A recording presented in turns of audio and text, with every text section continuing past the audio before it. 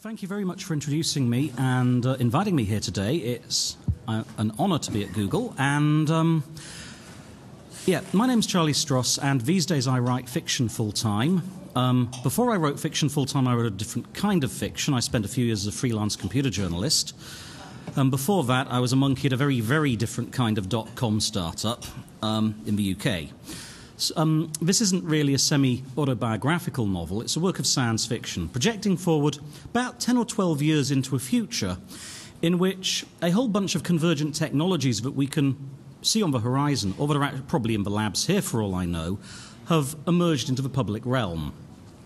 Technologies like, for example, 4G telephony protocols with 100 megabits per second data direct to your mobile at all times technologies such as universal, universal location services, either GPS or Galileo or other more precise location services, so that all the devices around your person know where you are or know where they are. And it's a look forward to a future where the internet has converged with geographical space, where your location can be mapped both into virtual worlds and into the real world at the same time, and indeed where the boundaries between the internet and the real world have begun to blur. It's also set during a heady time of an internet bubble.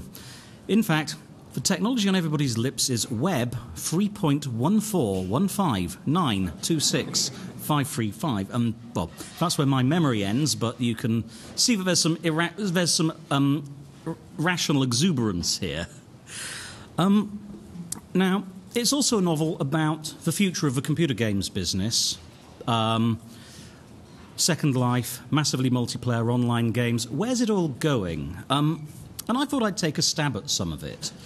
Um, and in writing a novel, this is sort of a very traditional art form. Um, it's one that goes back several hundred years in its present form. Uh, Daniel Defoe's Robert, Robinson Crusoe is often credited as the first modern novel, and that's sort of late 17th century. So I'm sort of deploying a 200 year, a 250 to 300 year old art form to attack um, an art form that's at most 20 to 30 years old. And I decided, where do they converge? And the interesting convergent point that I saw between fiction and um, gaming is the use of the second person narrative form, in which the second person, you, are being spoken to and told what you're experiencing. This is not by accident the traditional narrative form we used in text adventures in the old days, from Crowther and Wood's Colossal Cave Adventure in the 1970s onwards through Zork and the Infocom games. And it's a fairly powerful tool because it shows us that the storytelling has moved away from the storyteller, that is, from myself, to this interesting magic box in front of us. And so um, I decided to start by narrating a story directly to the reader in the second person. Um, and, uh, excuse me a second. If you, if you think for a moment, you're sitting half asleep in an armchair. Well, not you personally, but the fictional you I'm talking to. Your eyes are closed, and you feel very unsteady. Your head is full of a post viral haze, the cotton wool of slowed reflexes and dulled awareness. In stark contrast to the normal state of affairs, you can hear yourself think. There's just one little voice wobbling incessantly about from side to side of your cranial prison, which is no surprise after the amount of skunk you've, you've smoked. In the distance, there's a chiming clangor of tram bells, and it sets a glorious harmony reverberating in icy splendour across the rooftops. And you are asking yourself, like the witchy weird voice in an old Laurie Anderson video, what am I doing here? And there we see the second person. So let's restart. There's a ringing in your ears. Oops, you must have drifted off. That's the trouble with smoking weed to help yourselves forget. Yourselves? Well, there's you, there's Mitch, and there's Budgie. Tom couldn't come because he was busy being newly married and responsible. But between you and Mitch and Budgie, you're free of the four corners of a former, former social networking architecture team. And you've flown out here on a budget shuttle from Edinburgh to get falling down legless and scientifically test all that research into whether cannabis destroys short term memory. Because, God help you, it's better than thinking about how badly you've just been shafted. Which is how come you're sitting in a half collapsed armchair, stoned out of your skull, on a narrow strip of flagstoned pavement alongside the Prinsengracht Canal, listening to alarm bells. As you contemplate the wreckage of your career, after four years in the elite dirty trick swing of Lupusoft, working on special projects for nobbling your corporate master's rivals, and then a transfer to the relatively clean gameplay side of steaming, you've had four years of top secret death marches and psychotic deadline chases in beige walled cubicle hell. You can tell this isn't Google. when you'd rather have been sailing the wine dark seas.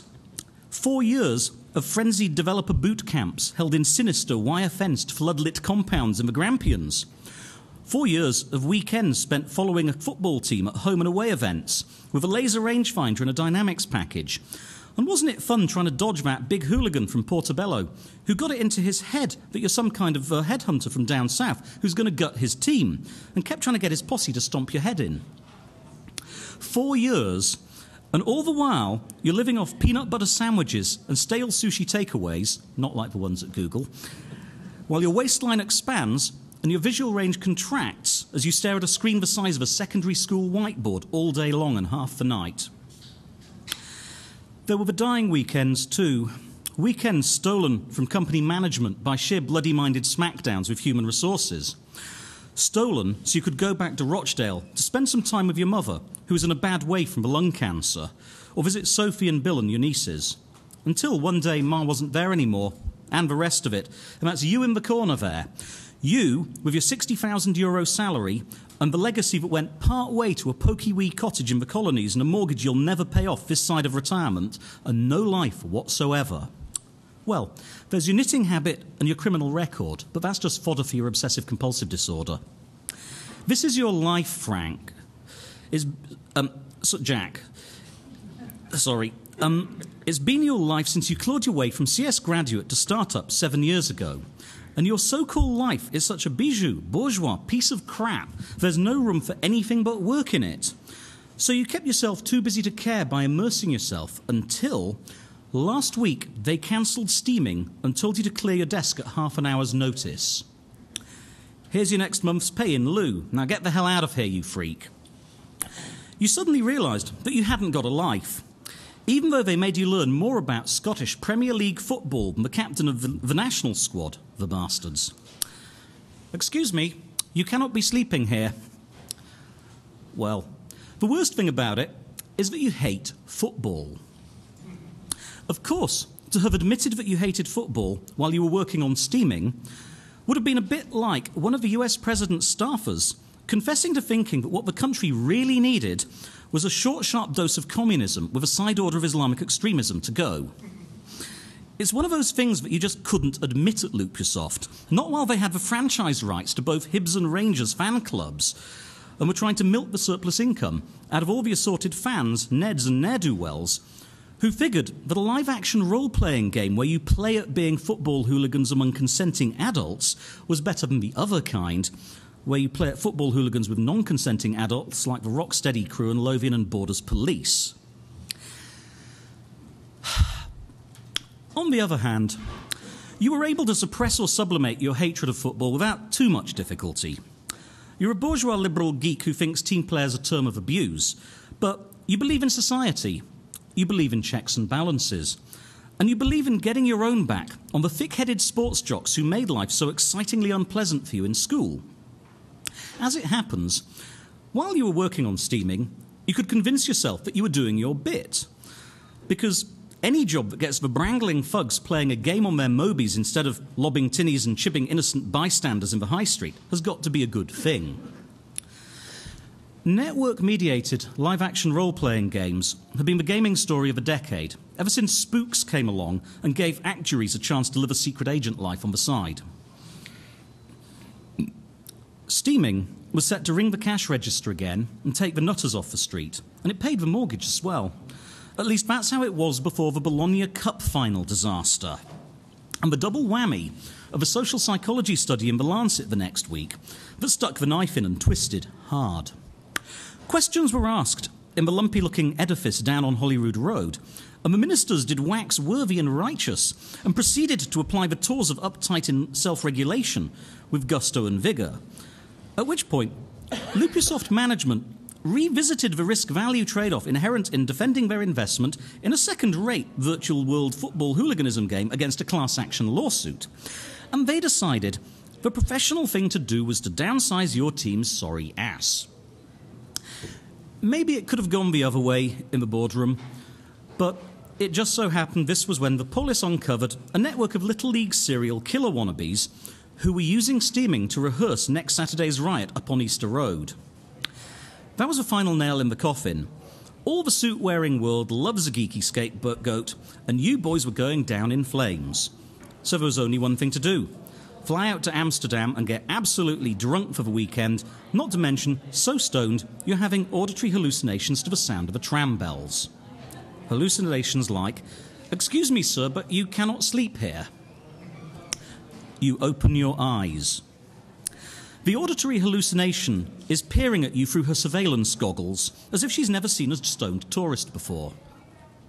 She's been so polite that for a moment you feel a flash of perverse gratitude until the weed clears enough for you to realise that she's a member of the police and quite capable of summoning a van full of black clad accomplices who will whisk you off into a concrete custody cell faster than you can snap your fingers if she chooses to officially notice that you're not terribly conscious. You try to say, Please don't arrest me. I'm just a sleepy tourist. I won't be any trouble. But it all runs together at the back of your tongue and comes out as something like, Ugh. You tense your arms and prepare to lift yourself out of the armchair. Standing up seems like the right thing to do at this point, but that's when you realise the armchair is situated adjacent to a street sign on a pole, to which your friends have kindly handcuffed your left wrist. And that goddamn ringing noise isn't stopping. You know, it's not in your ears at all, is it? Mm, you say again, dully staring past the cop, in the direction of the antique shop on the other side of the pavement. There's something odd about the window, or rather, the lack of it. It's broken, you realise. Someone has broken the antique shop window and dragged this annoyingly gazellic armchair out onto the pavement for you to sit in. Talk about game scenarios gone wrong.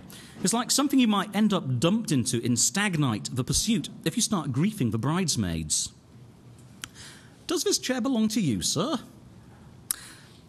Now, sometimes when you laugh, you come up with a burbling, hiccuping sound, like a hyena choking to death on its own vomit. You can hear it right now, welling up out of your shirt pocket, tinny and repetitive. It's your custom ringtone, very annoying indeed, but you don't owe a cent of royalties to any corporate gouging bandits. Excuse me, that's uh, my phone. Your right hand is free, so you try and insert your fingers in your shirt pocket and play Chase for Moby. But somehow in the past hour, your hand has grown cold and numb. Your digits feel like Frankfurters as the handset slips past them, giggling maniacally. Pay attention, sir. Did you take that chair from a shop? Who handcuffed you to the no parking sign? I think you'd better blow into this meter, sir.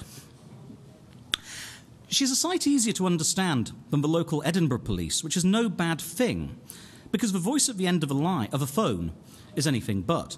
Jack, hi, it's Sophie. Are you all right? Are you busy right now? No, no, not not right now. Oh, that's a shame. I'm really sorry, but can you do me a favour? It's Elsie's birthday this Tuesday after next, and I was wondering. You breathe on the end of the cop's torch as she holds it under your mouth then swallow. It's the light on the end of it is glowing red. Your sister is tweeting on the end of a line, oblivious, and you really need to get her off the phone fast. You force unwilling lips to frame words in an alien language. Can't you email me? But it's important, Sophie insists. Are you all right, Jack? Jack? I think you'd better come with me, sir, says the cop. She has a key to the handcuffs, for which you're duly grateful, but she wants you to put your phone away, and that's surprisingly difficult because Sophie keeps going on about something to do with your oldest niece's birthday and confirmation, and you keep agreeing with her because, let's face it, will you please put the phone down? A Dutch cop is trying to arrest me. Isn't a standard way to break off this kind of scenario. If only families came with safe words like any other kind of augmented reality game. Things are stuck at this impasse for a, a tense few seconds as you mug furiously at the officer. Finally, she takes mercy on you and raises one index finger. She unlocks the handcuff from around the pole, twists your arm around the small of your back, weaks the phone off you, and um, has, you, has your wrists pinioned before you can say hasta la vista.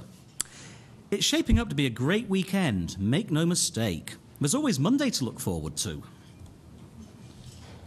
Excuse me a second.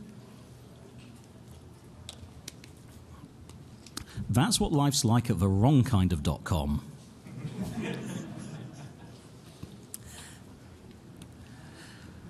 so I'm going to continue a little bit more with what subsequently happens to Jack, and then branch off and read a bit from a couple of other viewpoints before I sort of start trying to preach a sermon about what the significance of this all is and what possible relevance it can have to Google, other than being a fun novel.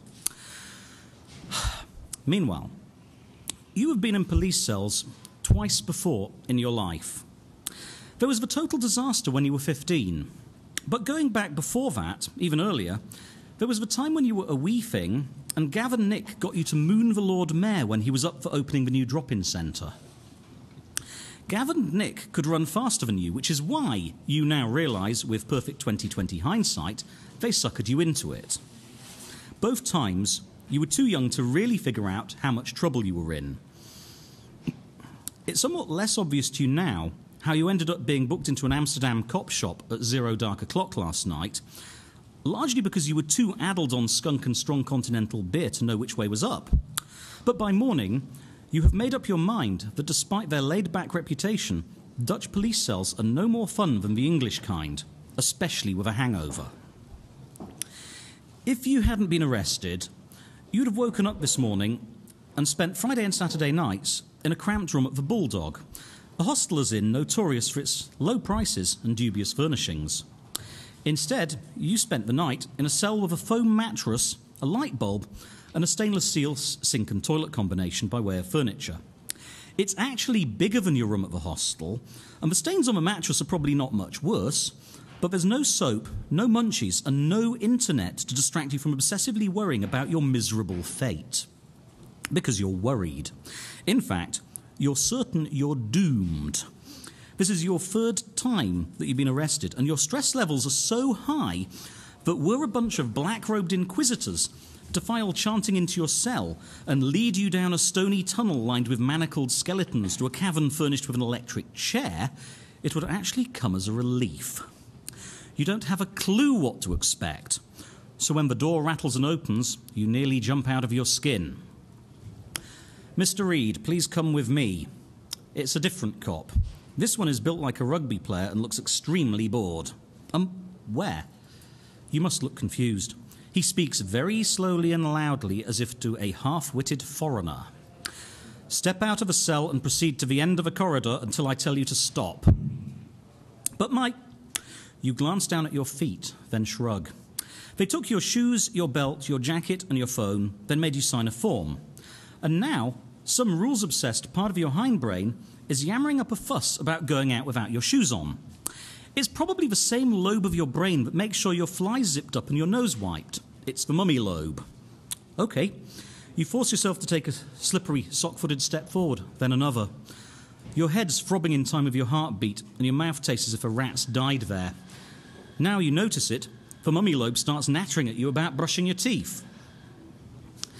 At the end of a corridor, there's an office with a desk in it, and a police sergeant, and a bunch of indiscreet cameras in luminous yellow jackets labelled evidence in English and Dutch. They must get a lot of tourists here. There's also a shoebox with your possessions. Mr. Reed, sit down. You sit. Did you, on the evening of the 20th, throw any items at the window of the antique shop at 308 Prinsengracht? You frown, trying to remember. The mummy lobe is about to say, I don't think so, but I might be wrong. But you catch it in time, and what comes out is a strangled, no. The cop nods to himself and makes a note on his tablet. Did you take the armchair that the owners of 306 Prinsengracht had set out for a municipal waste pickup and move it so it was outside the antique shop? That's an easier one. You don't remember anything about the armchair before you woke up in it. No, Another squiggle on the tablet. The sergeant frowns. Do you remember anything about last night? Anything at all? At this point, the mummy lobe makes a bid for freedom and control over your larynx. Instead of saying, Where's my lawyer? you hear yourself saying, No, not until I woke up in that chair. I was in the Arendsnest earlier in the evening and we had a lot to drink, but we moved on and things got vague. Then I woke up chained to the street sign. When you say we, who were you drinking with? I was with Mitch and Budgie. Tom couldn't make it, he was on paternity leave. All right. The cop makes another mark on his tablet, then pushes it aside and gives you a look. You quail. Your balls try to climb into your throat. Mr. Reed, you appear to have been the victim of a prank that got out of hand. Your DNA was not found on the stone that broke the shop window, or on the window itself. Camera footage shows three other persons carrying you and the chair before handcuffing you to the street furniture. So you're not suspected of vandalism or theft. However, let me be clear with you that level of drunkenness is a public order offence.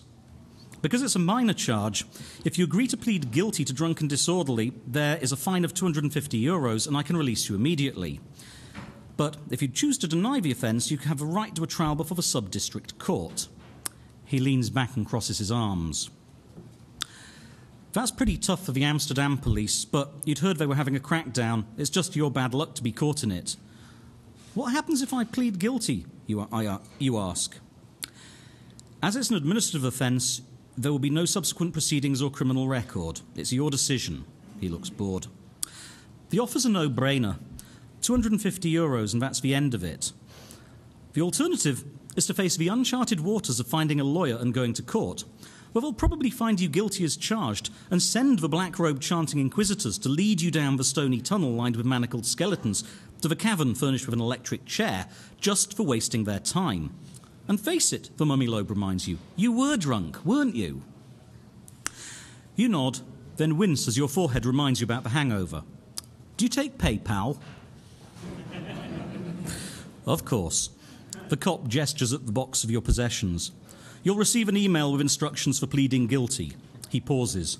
You should remember that failing to plead by email and not attending a court session are much more serious offences than public drunkenness, and the Scottish police will prosecute you on our behalf. That you really don't need. OK, I'll pay, you say hastily. This interview is over. You may leave when you're ready, says the cop, and he stands and walks out the door, leaving you staring after him with one shoe in your hand and the other on your left foot. Don't forget to tie your shoelaces, chides mummy lobe. Remember, it's a serious offence. Jack has um, a slight procedural problem with dealing with authority. He's not very good at it. However, this isn't entirely Jack's story, nor is it entirely about public drunkenness in the near future. Not all of it, anyway. There are other characters in this story, and um, one of them in particular, Elaine, is um, playing an interesting game. And um, she's one of Jack's co workers, for when he gets back to Edinburgh, he finds himself with a new contract job. Elaine is an insurance fraud investigator. She's been summoned in to look into possible insurance implications of a bank robbery that's just taken place inside a massively multiplayer online game. The bank, the central bank for this particular game environment, is outsourced and run under contract by a strange firm called Hayek Associates, who stabilize the economies of a whole bunch of computer games. Undermining one of their games threatens to derail their secondary offering, and there's a lot of money at stake. Hence the reason for the investigation. And um, Elaine is definitely doing the all work and no play at work.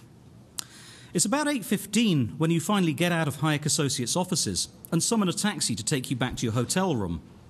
You are, not to put it too pointedly, dog tired. On the plus side, at least you made some progress today. The cop, Sergeant Smith, looks like she's going to be a useful contact, and Jack is paying his way. When you left him back in the bunker, he was elbow deep in whatever it is that programmers do, oblivious to everything else. Which is sort of annoying because he's the only person up here you know who isn't a co worker, and now you've got to face an evening in a strange city on your own. But what the hell? They call this place the Athens of the North. Um. Whoops, sorry. There's got to be something you can do by yourself on a summer night, isn't there? Well, not really. Back in your room, you have a quick shower, then check the eating out guide. By which time it's half past nine and you're half past hungry. You're not keen on going back to places you've been earlier, not on your own, and the room service menu looks okay, so you order up a big green salad in penance for yesterday's business lunch, and then it's 10 and the hotel gym's closed. And where the hell did the day go? It's even worse than a working late evening in London. At least there you can break the commute home in a cocktail bar with some friends. By 10.30, you're glumly contemplating an early night and a 7 o'clock session in the gym. Then your phone rings. You look at the display with a sinking feeling. It's a particularly tedious LARP called Spooks, a real time game in which you're playing your part in a shadowy pan European intelligence agency, locked in a struggle for global hegemony with the forces of Chinese military intelligence, the Russian FSB, and, of course, the CIA. yes, you try not to snap. Elaine Barnaby, this is Spooks Control. You busy right now? You glance around your beautiful, sterile hotel room. Not really. You know I'm in Edinburgh. That's why we're calling. Your nameless control sounds amused. Your authenticator is. He rattles off a string of nonsense words just to prove he's got access to your control file. I'm on business. So are we. We were hoping you could do us a favour while you're there. How small? As usual, there's no face to go with the call, just the eye in a glass pyramid in Docklands logo. If this was a video call, at least you could glare at him. It's half past bloody ten. Yeah, but we need a small parcel delivering. Parcel. What's wrong with FedEx? Well, as you just pointed out, it's half past ten at night. Besides, the parcel is sitting downstairs in your hotel lobby. It needs delivering to, and he sends you a set of Galileo coordinates. That's about half a kilometre away from where you're sitting. Humph. You look at the phone speculatively. What's it worth? You're angling shamelessly for more experience points. To you, a 20 minute walk before bedtime. To the recipient, priceless. Control sounds smug. You can picture him sitting in some bedsit, grinding through his checklist of in game tasks in hope of getting to the next level, trying to convince himself he's got a life. There's no easy way to say no without giving offence. And anyway, you were thinking about doing something before bed, so in the end, you grudgingly say, OK, I'll do it. Thank you. By the way, I've been told to tell you, Agent Barnaby, that a hell of a lot depends on this package being in place before midnight, local time. Sure. You hang up, pull your shoes and glasses on, grab your jacket, and go downstairs. It's dark outside, and there's a single tired looking clerk on reception. You smile at him. You got a parcel for me, Barnaby, room 214. Sure, let me just go get it. He shuffles off to the back office. Here, sign here. Sure. You swipe your phone over his reader and thumbprint the signature. Thanks. Outside, the evening air is cool and smells faintly of cherry blossom piling up in the gutters to either side of the road. You pull on a disposable plastic glove then pull the tab on the parcel. This recording will self destruct in 30 seconds. Not. Rumour has it the first Spooks campaign got the beta testers arrested and questioned for a week under the Terrorism Act before the police finally realised it was a game. That's why you've got a special endorsement on your ID card. The parcel turns out to contain a bland looking black plastic box, about the size of an old time DVD case, and there's some heavy outdoor bonding pads. There's also a dead tree, paper, note on paper. Attached to front of building, above eye level, facing the street. When attached, pair it with your phone to unnamed device 1142. Here's your passcode. Once paired, dial this number, then leave the area. When home, text control to confirm. This is bloody typical. You pocket the bugging device or whatever it is, key the coordinates into your specs, and let the overlay guide you along the pavement towards the building. This sort of nonsense is partly why you've been thinking of cancelling your spook subscription. It's tediously realistic. There's no romance, no James Bond swigging cocktails with a pool in Grand Cayman. It's just pick up package X, transport to location Y, phone number Z. It's really tedious. Location Y, in this case, turns out to be an impressive crescent of Georgian stone townhouses. They've got flights of steps like stone drawbridges, jutting out over a dry stone moat with windows in the basement, and steps down to them for these are garden flats. You hunt around for a few minutes until you find the right set of steps, then approach the door. Right at the top of the, of the uh, row of buzzers, someone has chalked a blue rectangle with your spook cell war chalk indicator. You take out the box and the adhesive pads, position it carefully, and jump through the hoops. It's probably just a 10 euro inventory tracking phone and a camera to snap the back of another player's head when they leave for work tomorrow. But what the hell? You wait till you're halfway home, then you text control. You're just keying in your message, though, when your specs vibrate for attention. You glance up. The Spooks overlay has activated itself again, and it's telling you two person tag team following you. Now, the dictates of the game require you to take it seriously, even though you're too tired for this nonsense, you just want to go to bed. But, more importantly, Spooks tries to map non player characters onto real local objects, and you can really live without two strangers following you in a foreign city. You speed up slightly, carefully not glancing round. That's your glasses job. And mumble quietly, calling up a course into the densely occupied area around Princes Street. You change direction, darting into a side street, and behind you, the blips on your head up display turn to follow. This does not look good. Phone, get me a taxi, you mutter, and break into a jog. The side street is almost deserted. for cars parked both, si- both sides of it, but you can see lights and hear traffic ahead. You hear footsteps behind you now, and you break into a run. Then the taxi's headlights show. It swerves towards the curb in front of you. Where to, miss? asks the driver as you pull the door shut. You try to remember. Hotel Malmaison? Behind you, the tail team falls away into the darkness as the taxi accelerates, carrying you back to the illusion of the real world. Some of these games may have more or less of a game to them than uh, the players think. Now, um, a chunk of this book did sort of emerge from my time inside a successful.com on a small scale, a payment service provider, and before that, a not terribly successful web startup circa 1995. And um, one of the things I wanted to do in the book was to sort of try and convey some of the aspects of what it's like to be a developer. Um, unfortunately, that's sort of like nailing jelly to a tree. It's such a huge area. There's such a huge difference between grinding out COBOL and forms in a mainframe shop and uh, hacking out Perl scripts in a hurry for, co- for small com- commercial customers that it's almost impossible to generalize. But I can say some things about it. And um, what I wanted to say, I stuck in here. It's uh, sort of like that first Alcoholics Anonymous meeting when you first have to admit that you've got a problem. Hi, my name is Jack, and I have a code problem. You're a grown up these days. You don't wear a kamikaze pilot's Rising Sun headband and a t shirt that screams debug this.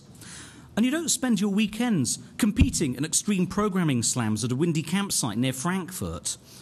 But it's generally difficult for you to use any machine that doesn't have at least one compiler installed. In fact, you had to stick Python on your mobile phone before you even opened its address book. Because not being able to brainwash it left you feeling handicapped, like you're a passenger instead of a pilot. In another age, you'd have been a railway mechanic or a grease monkey crawling over the spark plugs of a DC 3. This is what you are. The sad fact is, they can put the code monkey in a suit, but they can't take the code out of the monkey. Which is why you more or less missed out completely on a really entertaining argument between Elaine and some weedy, intense looking Marketroid in casual Friday drag and fashionable specs, who seemed most upset about something. You were off in your own head, trying to figure out a strategy for reducing the Himalayan pile of junk data your query agents are going to pull out of a zone database, and you just wished they'd all shut up so you could go back to scribbling entity relationship diagrams on the walls in green crayon. In fact, you were so far out there that the mummy lobe forgot to threaten to set Sergeant Smith on you on account of your overdue library books. You even managed to forget about the weird phone call last night. You were, in short, coding. What's up with him? You remember the cop asking Elaine. I'm not sure. If I didn't know Brett better, I'd say he was stoned, but he keeps twitching his fingers. I think he's in keyboard withdrawal or something. You surfaced for long enough to explain what you needed, and they got the, co- the Marketroid to tell the, the software librarian to log you onto the code repository and give you the authentication keys you needed. Then they found you a nice padded beige cubicle and parked you in it so you could design a tool for the job of trawling through several billion transactions. An indeterminate time later, an irritating voice inserted itself into your awareness. Jack? Hello? Have you got a spare minute? No. You shook yourself. Um.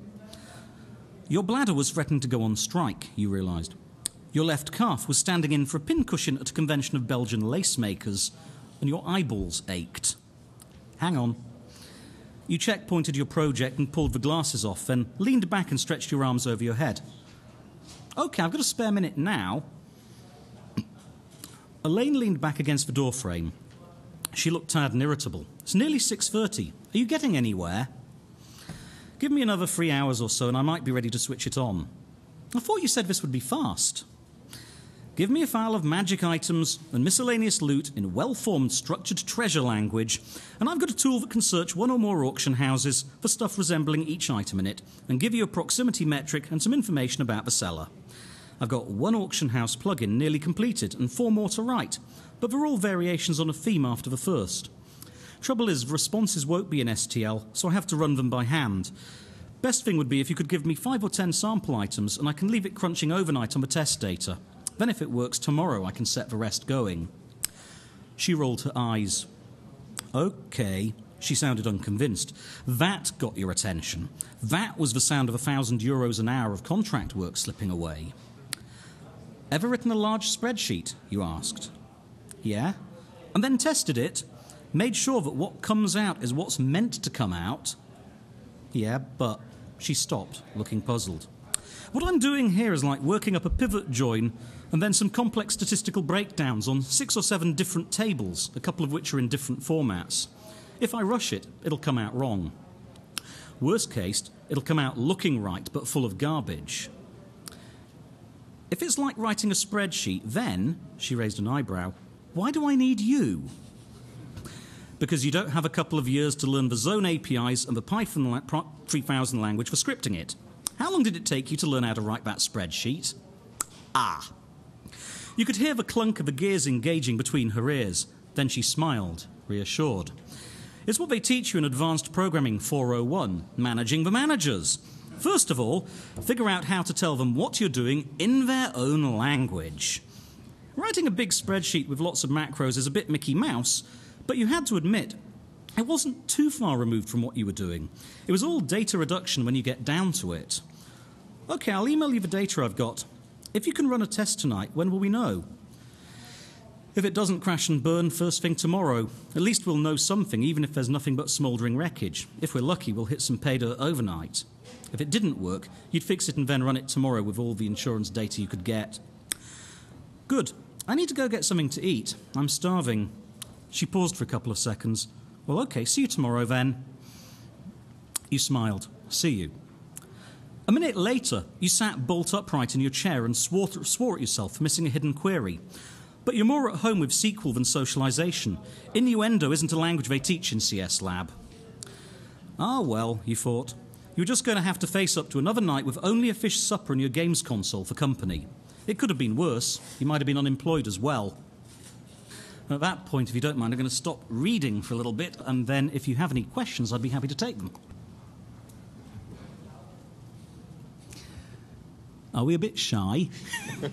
There'll be an exam afterwards. Um, ah, you at the back, sir.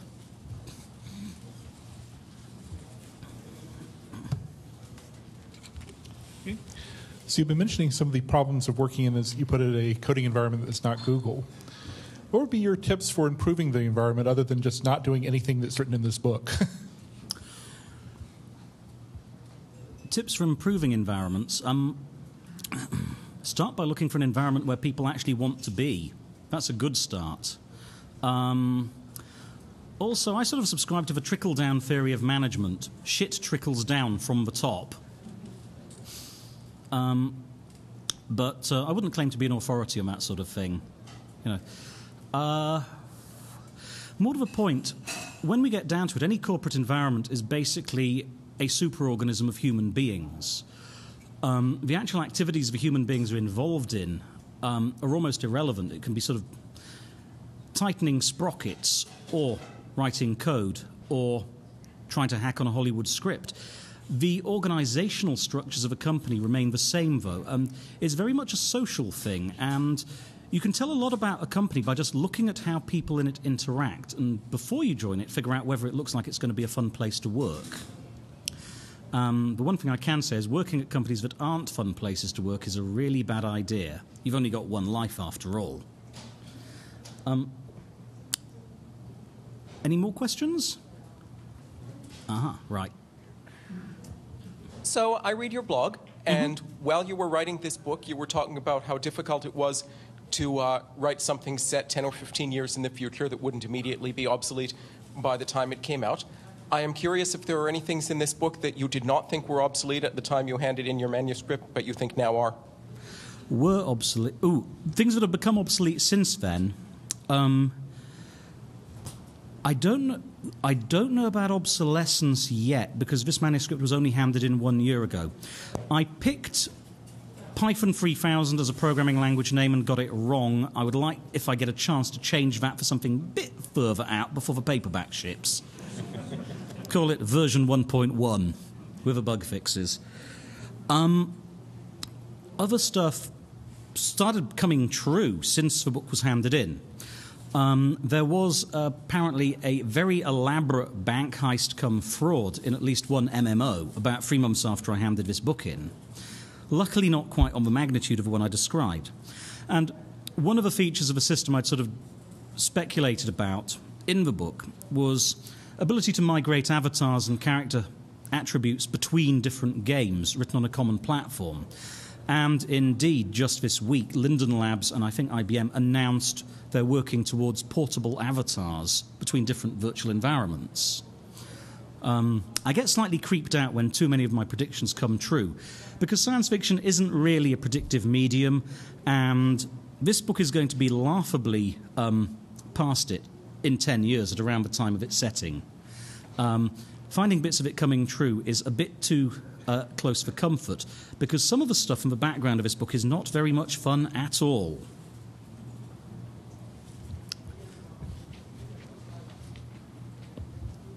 I uh, found a couple bugs in NetServer Generic, and I'm wondering when you're going to release a new release of that. I'm looking for somebody else to take over as maintainer. anyway, it's going to be obsolete when Perl 6 arrives. Well, that may be a while, too. No tight blobs.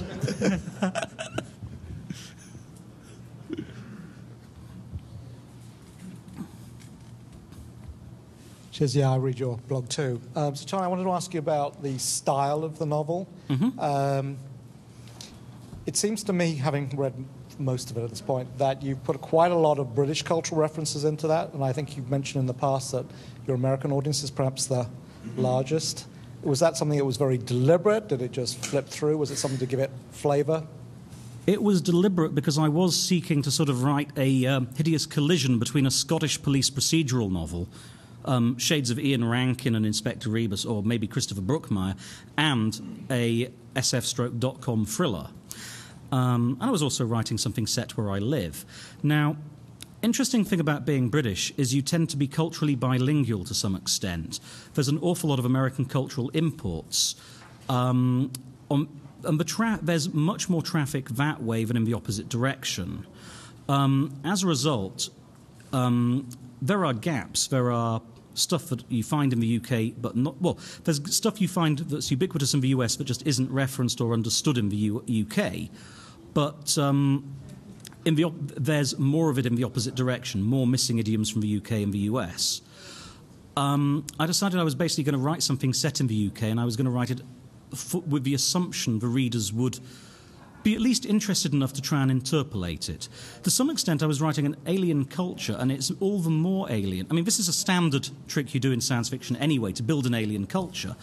But the one I'm writing is actually a genuine one, and it's more alien than you might think at a distance. Um, the same goes with the United States. I find it a very interestingly alien civilization to visit. it does feel like visiting a different planet.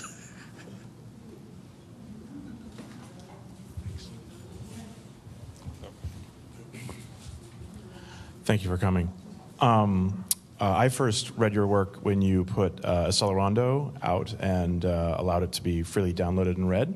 And I'm curious uh, what your experience of that has been, and also like if you have any data or at least impressions on did you get lifts in other books and, and sort of what that experience has been. Um, okay, Accelerando is a novel of mine that is out on the web as a Creative Commons download as well as in print. Um, to some extent, it was an experiment. Now, one of the things that you do when you write a book is um, you retain copyright over it, but you license certain rights to the publisher. And if you've ever seen the contract for the, the, deed of sale for a house, the deed of sale for a book looks similar, only gnarlier with even weirder fine print. Um, I'm not sure which is worse software industry lawyers or publishing industry lawyers. They're both lagging slightly behind Hollywood and the music industry, but not far. Now, one of the things that for quite a few years most publishers have been sticking on is ebook rights. They want them. They know they're going to be important, they just don't know quite how to use them. Um, with Accelerando, I convinced my British and American publishers to agree to an experiment. Now, I think the experiment has been successful. I think it brought in new readers. But unfortunately, my subsequent books have been published at different times on different sides of the Atlantic. And it's very difficult to get a publisher to let you put a novel on the internet several months before they have a paper version to sell. So that's why it hasn't happened subsequently. Um, I should like to talk more about the whole Creative Commons thing, but uh, let's just say hash include cory.doctorow.h and move on. Other questions? Just following up on that, um, have you cons- uh, several famous music acts recently have been foregoing their um, record companies and releasing their music directly. Have you considered doing that also? Um, I've considered doing that. Um, sorry, I've considered doing that. Uh, however, I'm still at a certain, I'm still at a stage, and probably will be for many years, where publishers have a lot to offer me. Um, and one of the things they have to offer me is the ability to do all the nasty, tedious little stuff to do with putting a book into the hands of a public that authors don't normally do. Um, we think of authors as sort of writing and creating a book, but in reality, it's a team job. Somebody has to copy edit it and come up with all the typos, and then somebody has to typeset it and then proofread the typeset stuff with the corrected typos to make sure it's accurate. And somebody else has to go around and figure out what sort of cover will appeal to the readers and how to go about marketing it. And then somebody has to go to the Library of Congress and get and acquire an ISBN and copyright registration information for it. And somebody has to go and sell it to the wholesalers and the distributors and take orders and do the accounting. Um, let's not forget the accountants. And, you know, I could spend my entire life selling books but not actually writing them. So publishers actually perform some very important but invisible functions. And in addition to that, um, there are valuable functions they perform that uh, are more visible. Editing. Um, I rely on my editors to throw a brick at my head and say, Oi, wake up, this isn't good enough if I do something wrong. Um, you know an author is in trouble when they decide, oh, I'm good, I don't need editing anymore. This is a very bad sign you know, they've just ditched the QA department. So, one of the things that struck me about the novel was that um, I believe the technology predictions, I wasn't sure about the political predictions about Scotland and independence and the EU and all that stuff. That came very close. Um, we had an election in Scotland earlier this year. We now have a Scottish National Party government, but it's a minority government. Um, Scotland currently runs on about a four and a half party system, with the Conservatives in fifth place. Um, I think they may be ahead of the Greens. Um, the Scottish National Party is a very rare beast. It's sort of a socialist party that's also in favour of independence and is a nationalist party. And um, what happened was Labour had um, convinced the Scottish electorate that they wanted a new government, but not convinced enough of them to give the Scottish National Party an outright majority which means the SNP have to play nice. They can't run a referendum for independence without an absolute majority, and the other parties are dead set against it. But they do have to run the country. So we're into interesting times. I will lay one political hostage to fortune by saying there is one condition that I think could very well trigger Scottish independence in the next few years, and that would be a British scale general election that returned a Conservative majority government to Westminster and the Houses of Parliament. Scotland is predominantly much more left leaning than England, and firstly, the Conservatives get no benefit from having Scotland in the UK, and secondly, if they cast Scotland adrift, they'd have a lock on power for the next 30 years. So suddenly, you'd have a political party north. You'd, um, they're also hated in Scotland post Thatcher. So you'd simultaneously have increased pressure for Scottish independence north of the border and a government down south who wanted it.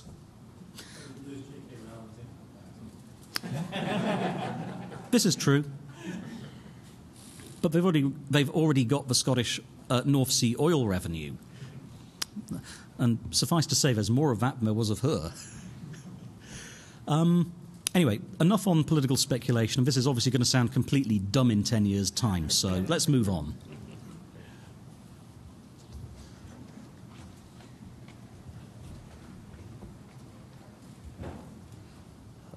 The 13 year old in me wants to ask if uh, they made Atrocity Archives into a movie, who would play Bob Howard?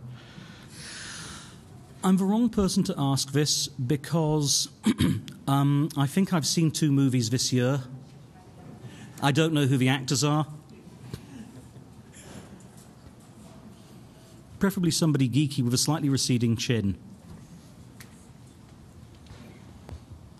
Well, I know this from having been at uh, Worldcon. Uh, could you t- tell people what your reaction was to winning the Prometheus Award for Best Libertarian Science Fiction? um, well, yeah, I did win a Prometheus Award for Best Libertarian Science Fiction for my novel Glasshouse, and um, my acceptance was basically I'm very proud to receive the Libertarian Futurist Society's award for the best Scottish socialist science fiction novel of the year because Ken MacLeod can't be here to receive the award for the novel he hasn't written this year. It is very, very strange how the libertarians keep giving Scottish socialists awards. Let's get back to the technology. Um. I think one of the key parts that I, I think it's in the book, and I, you kind of mentioned at one point with Elaine, you talk about putting her glasses on, that you have these sort of virtual reality overlays that are going on specs. Now, how do you really feel about that in terms of a technology? I mean, it kind of comes and goes, and my sense is that even from a fashion point of view, people are not going to do that, even it's. I'm unsure. I was deliberately trying to keep it vague in the novel because you can't tell how styles in user interface are going to go 10 years ahead. But um, look at your mobile phone. Your mobile phone probably has roughly a 200 megahertz ARM processor in it, somewhere between 16 and 80 megabytes of memory, a card slot. It's probably comparable in performance to a desktop PC of five to 10 years ago. There is one aspect of it, though, which is desperately, dismally inferior to that PC, and that is its display we haven't cracked the user interface problem for these very powerful portable computers we're all wearing on our belts. We haven't cracked it yet. I suspect if you think of a bandwidth available for the wireless USB technologies, that's getting to the stage where you can use it for displays. Not significantly high resolution displays, but certainly something like um, VGA or, or above should be doable over wireless USB. Um, I'm ruling out Bluetooth for fairly obvious reasons, and ditto Wi Fi. So it occurred to me we're probably heading for wireless um, personal area network bandwidth within the next 10 years that will let us have separate wireless displays. Now, as for how much light you need, um, there's a whole bunch of different technologies competing for what you wear on your glasses. And you can go out today and buy something from Sharper Image or wherever that'll let you watch your iPod while wearing specs. Um, basically, a pair of quarter VGA displays and a frame. It's not terribly great for walking around in public, though. But it occurs to me with a lot of computing power, you can do interesting things. These glasses, they use sort of physical refractive optics. Why don't I have a screen in front of each eye and a camera on the outside of a screen and do some fun um, AAA buffering? So um, you could think in terms of a simple hardwired circuit that will map motion straight through whatever virtual field I'm looking at. So you can be looking at a wall, a static image, um, and be fully immersed in whatever your glasses are showing you, or you can walk in, in the street and stuff that is moving will appear superimposed through the street, the street, the scene you're looking at. It occurred to me that with that sort of technology, um, probably available within a few years, again, assuming Moore's law holds up, um, the attraction of actually having glasses that do stuff that dead glass can't do uh, would begin becoming obvious. Real time image enhancement, multispectral analyzers built into your glasses, zoom lenses, and it's a desktop interface. At that point, suddenly, those slightly geeky, thick black frames start making a lot of sense. That was my take on it. I think my daughter would disagree with you. Yeah. Okay, I think we're going to wrap up. There's another talk here at 2, but thank you for Thank you. coming. And uh, if anyone who got a book would like it signed, we can take a couple minutes over here at the table to do that. Thank you.